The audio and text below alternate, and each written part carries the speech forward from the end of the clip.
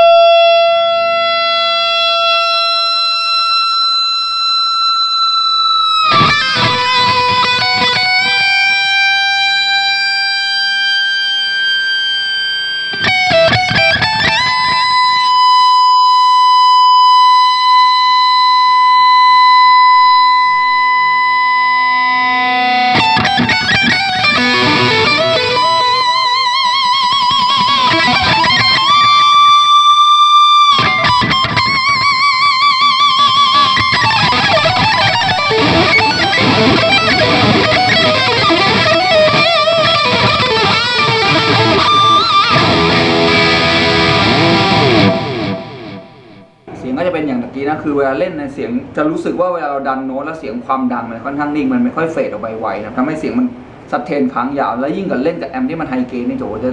ค้างยาวได้สะใจมากเหมือนกีตาร์ขี้โกงเลยคือเหมือนว่ากดนิดเดียวก็ออกนะทำให้เล่นอะไรออกมาได้ค่อนข้างง่ายเป็นเหมือนว่ากีตาร์ที่มันตอบสนองการเล่นของผู้เล่นได้ง่ายมากได้ได้ดีมากจริงต่อมาเราเป็นแก๊ปผสมนับสองฮัมบักกิ้งผสมกันบ้าง